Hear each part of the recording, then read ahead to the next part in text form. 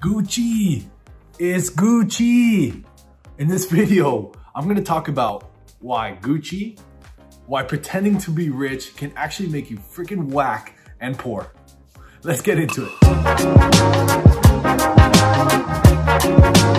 So my name is Raul Bolufe and I've helped, I've flipped over 500 homes, whether it's wholesale deals, fix and flips, buy rentals, single families, multifamilies, a little bit of everything. And I'm here to help you do the same and accomplish your goals. In this video, I'm gonna talk about how pretending to be rich actually makes you suck. If you're watching this YouTube video, it's probably because you watch other YouTube videos, which is awesome. And I wanna illustrate a point. So I'm gonna go into my screen real quick and show you how the Ace family foreclosed on their $10 million mansion by pretending to be rich. And then I'm gonna talk about why do we pretend? How do we use this pretentious life of, of being rich to your advantage and how you can make a game out of it to reverse the script to flip the script and you end up on top while achieving the maximum amount of success. So let's jump into my screen here. By the way, my mom gave me this. I love her. She loves to give me fancy things. I have two pairs of nice shoes and I have one nice scarf. They're all gifts from my mother every Christmas. I love her so much. All right, love you, Ma. All right, so let's go in here. And this is an article I found and Ryan Pineda makes a really good video about the Ace family. He goes really deep into it. But all in all, Ace Family is a family that got famous on YouTube and they have really cool videos about them and their family just living life and doing cool stuff. And as you can see here, they bought a huge mansion. Here, there's a picture right here. And it was sick, right? I saw the video. My, my girlfriend watches this channel and I actually think they're great YouTubers. They, they seem like very genuine and they're good, you know, good YouTubers. And this is nothing about them.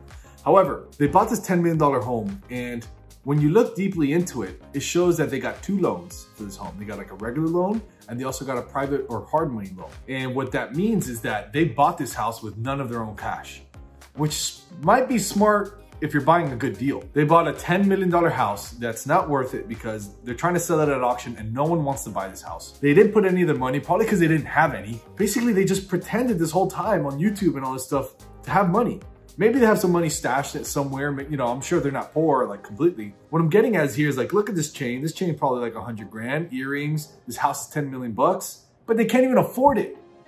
Okay, if you're losing your home, that's one of like the most, this is a huge investment in most people's lives. And if you're losing your home, it's, it's, I mean, you don't want to do that, okay? Especially like a beautiful home like this. This shows me that they don't, they don't have enough money to pay the mortgage they don't have enough money to save it or pay it off or or they don't have good enough credit to be able to work on this like like fix this issue. And besides that so austin actually started a a um, like fight night type thing for youtubers and tiktokers and influencers to fight. He did an event and didn't even pay back the fighters. Okay? They're in a ton of lawsuits. They're being sued for probably way more than what they have because if you have money and you're being sued yes, you can fight because of ego and like get into the courtroom battle and all this stuff. But typically, like most really, really wealthy people just pay for that stuff to go away. You know, either settle or whatever, pay people off, especially if they're in the wrong. Like this guy hosted fights, fighters fought and didn't get paid. Like that, it's not, like you can't make that up. So anyways, this is just an illustration of pretending to be rich. People you probably know, probably seen on YouTube or your girlfriend or your boyfriend watches this or family member. And here I have like a little breakdown. As you can see, I'm very, uh, I like to write stuff on my little Google Doc. And I'm gonna go over how pretending to be rich actually makes you suck. So there's the Ace family story. So why do we pretend? Why do we pretend to be rich? Why do we front on Instagram? Why do we buy cars we can't afford? Why do we buy houses we can't afford, boats, and uh, why do we buy clothing that we can't afford? very simple. It's just to impress people we don't like. That's the, the key word there is impress. Sometimes people are like, no, but I don't care about what people say. I actually like the Ferrari or I actually like Gucci or I actually like Louis Vuitton. Okay, bro, if that Ferrari actually costs a lot less, yeah, it could be that you really love the engineering of the car or something. However, when you really dive deep, if you ask them why seven times, there will be another person involved. Oh, I like the feeling of when I'm driving it and I pull up and you know, and then like I give the keys to the valet guy and, and I feel good. It's like, why you feel good, man? Well, uh, the, so there's nothing wrong with buying fancy cars at all. I actually have a Porsche that I'm about to pay off. But at the time I could afford it, I still could afford it. So is it a shitty purchase? Yes, it's still a shitty purchase. I'm not compensating for it. However, it was something completely out of my budget at the time. So why do we pretend? Like, why do we pretend? It's typically to impress other people and to feel a certain way, feel more superior, feel something. You know, for, for a long time I battled with this because I I used to buy nice things. I owned many Rolexes before and I owned fancy shoes and things like that. And um, after about, about probably like two and a half years ago, I went through a realization. I'm like, ah, I don't need any of this stuff. Like, why do I have 15 grand on my wrist? Like, why? Like, I don't even care. Like, I, like, I, my, my Rolex has never even worked. I didn't know the time. Like, the time never worked. I'm like, dude, why am I doing this? Like, this is whack. I, I found myself whack, you know? And I'm not saying people with Rolexes are whack. I just, I cared about different things at that point. I said, I'm like, I'll buy myself another Rolex when I have 15 net, $15,000 a month net coming in in assets. And I'm not quite there yet. I'm almost there, but I'm not quite there yet. So when that happens in my real estate portfolio, then I'll buy myself a Rolex. So I just care, I just prioritize things differently. And I think you should think about it. You don't have to follow my strategy.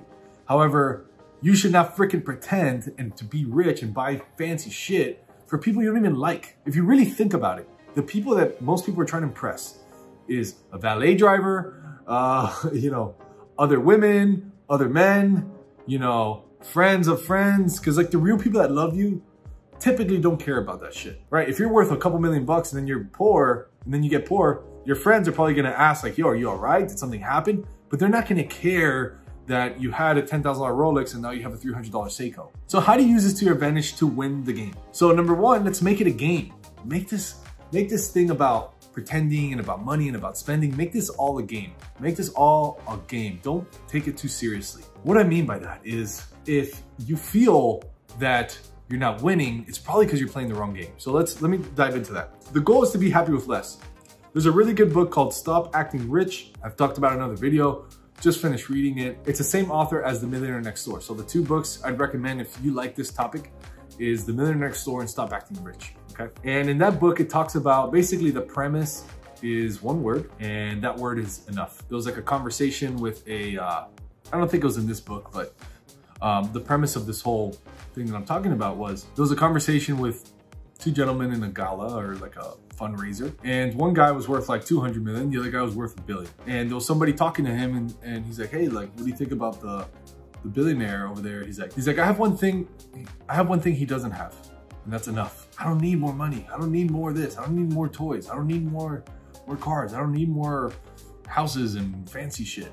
I have enough. So you have to determine what is enough for you. Everyone has a different answer. And really, really, really think about it. For a long time, I wanted to, I wasn't gonna stop until I made 100 million bucks. And that still is my goal, don't get me wrong. When you really, really think about it, I don't need 100 million bucks to be, you know, living like, like a complete you know, top, top, top of the chain, however I want to think, you know, um, you don't need that much money. So really think about what is enough for you. What is it that you want to want to want to do? So typically buying stuff makes you happy or satisfied, whether it's buying um, anything, buying clothes. A lot of people spend their money on clothes, artwork, jewelry, um, rings, chains, uh, anything, right? I understand that buying this stuff can make you happy, but the goal would be is then you're really just buying a feeling. You're searching for a feeling. You're buying a Ferrari because you want to feel something. Notice in the beginning, if you really ask somebody why five to seven times about a purchase that they bought that's pretty high end, maybe a little bit above, maybe a stretch, ask them why a couple times and it's typically a feeling is the underlying thing. So that's good. So now if we know the core, the root is a feeling, right? People buy Gucci to feel superior. People buy Gucci to feel exclusive. People buy Gucci to feel um, rich. People buy Gucci to feel like they're a part of like this society that can only afford this kind of shit. So really, if we're searching a feeling, then we have to think about what can we do in our lives to feel that way without spending that, okay? So you just have to transfer. It's not that we don't want you to feel that. We're just gonna transfer what it takes for you to feel that, okay? So instead of buying a Ferrari, to feel rich and powerful and important, there's other things you could do to feel that. So when you flip the script, you got this.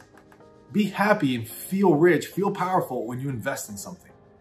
And it could be as simple as investing a hundred bucks into whatever you want. Okay, not, this is not like an investing advice channel, but you can invest a hundred bucks into a crypto, into a stock, into, you know, someone's real estate deal, into someone's business. I, I mean, I don't know a business take a hundred bucks, but you know what I mean. You know, like there's apps that you can invest like Robinhood or Betterment or Acorn, like you can invest 50 bucks. You should feel, you could feel important, rich, in a secret society, high status, when you do that. And it actually has more merit and more meaning. Because, you know, if you invest $100 today, in 30 years, compounded, etc., you can do the math. It's worth like, I don't know, $8,000 or some shit like that. Um, you can use a Dave, Dave Ramsey retirement calculator. That's what I use. And plug in some numbers and you will be astonished of the things that you see there. So when you invest in something, that can make you feel the same feeling as, as buying this Gucci thing. A lot of people are like, oh, I invested in this Rolex. It's an investment, so they feel good. And, you know, whatever. There's a little bit of merit to that nowadays. But, but overall, let's be real. Uh, $20,000 investment in a Rolex or $20,000 investment in your brain, meaning a course, a mentor, or your future, a real estate deal, a something that can pay you dividends, that's a lot better investment. Okay, let's let's be real. Okay, be happy, feel important, feel rich when you save money. After reading the book um, Stop Acting Rich, I realized like, damn, like I'm still spending too much money on stupid shit. Doesn't matter. And I don't buy fancy shit, but like I like to go out to eat in nice places. Um, I like to buy good food. You know, like I, I really spend a lot on food. I like to go to nice gyms, or I used to. I was paying like $300 a month, well, 270 bucks a month for a gym membership, which I canceled after like reading that book. I'm like, okay, let me just go to the regular gym for 30 bucks a month. Like, what the heck do I need 270? So even me, all of us, we all go through this. But if you're aware that all you're searching for is a feeling, you can get this feeling doing other things that are actually productive. So when you save money, right? So I was paying 270, now I'm paying 30. So I'm saving 200 plus dollars a month now. I felt so rich, okay? When I made that decision and I canceled the membership, I sent them the email and I signed up to the cheaper gym, I was like, dude, that felt good. Like I felt like I just bought the biggest Gucci scarf in the store. That's how I felt. Be happy when you see your friend spending more than you. So, okay, I don't like comparing to anybody, so don't mistake this. But a lot of times our purchases and our investing habits, our spending habits are fueled by our friendships. There's nothing wrong with that. Hopefully if you have high net worth friends or friends that are making money, it's good. It's good for you. It's good for you to understand like, okay, you made a hundred grand and you spent 20,000 on this vacation or this, that, whatever. It happens. If you can go on the same vacation and spend less money than them, you should feel good about yourself. You should feel that feeling of being more rich or feeling uh, more successful and stuff. Not more successful than them, more successful than you were before you went on this trip or before you did that habit. So if people, if you say your everyone in your friend group is getting a new laptop and they paid 3,000 bucks for the laptop, but you found yours refurbished on OfferUp for 1900 same laptop used for three months by a dude that had to sell it because he was moving or something. Well, man, you should feel good. Like you, you accomplish the same and with spending less. So you literally invested in your future, you invest in yourself. Like you, you did something that put you in a more secret society you know, of, of savers, of investors, of people that actually get wealthy. Write down the smallest things you have and what you're grateful for. So every morning I have this notebook, really a five-star notebook. I sit here in the mornings and for four minutes, I literally timed it for four minutes because five was felt too long for me.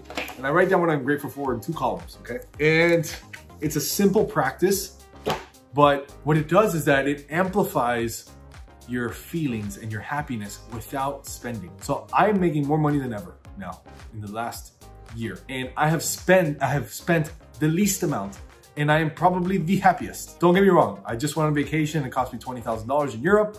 it was a splurge.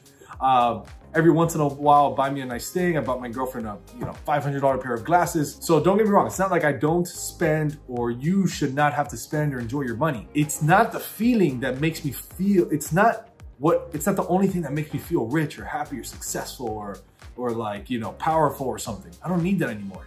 I don't need that anymore. You don't have to.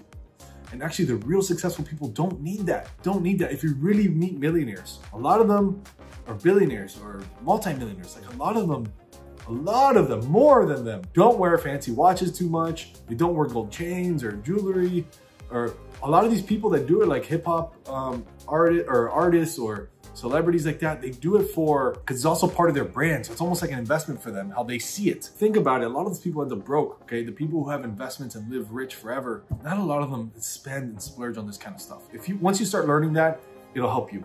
Um, so make it a game to invest and save more. Play a game for the next month. How much money can you save and invest? Like, let's just play this game. It's one month of your life. Just do it two weeks. Let's say you're used to spending $500 a week on food and working how can you spend 250?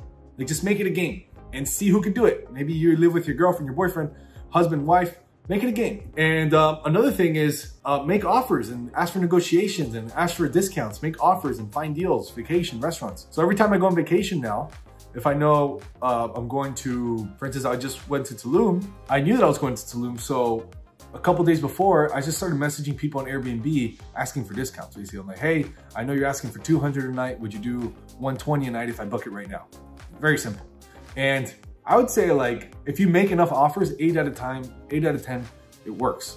So you just have to make enough offers. It happened when I went to Italy in the Amalfi Coast. It was a beautiful thing. And I'm like, crap, everything in the Amalfi is expensive, by the way. Okay. So I was like, I like to, you know, I like to spend money when I'm on vacation. It's fine, enjoy it. And I'm like, man, how can I get the best deal, right? Like, how can I, I feel good when I save money. I feel good when I know I get a good deal. And so what I did was I just made 10 offers on 10 different Airbnbs. And actually on the most beautiful one, the one I actually wanted, they accepted, I think it was like 180 off per night. And we were there for like four nights. So it's a lot of money. I don't know. I felt like if I bought a freaking Ferrari, okay? I felt like if I just went to the fanciest restaurants in all of Italy. And if you can kind of train yourself to think about it a little differently and feel good when you save, invest, get a good deal, you know, um, do something productive, then you don't have to pretend to be rich. You'll actually be rich and you won't be poor and you won't be whack as hell. so anyways, thank you guys for watching this video. I hope you guys liked it. Really, I do these videos to help you achieve your goals in real estate or in life, get ahead, get a little bit above the competition so you can crush it and do your best at a young age, old age, doesn't matter. Black, white, Hispanic, Asian, Caucasian, anything. Thank you guys for watching this video. Please hit that like, subscribe, share this with a friend, a family member. Please, please, please, if you feel it's valuable for somebody. I'll catch you on the next video. Peace.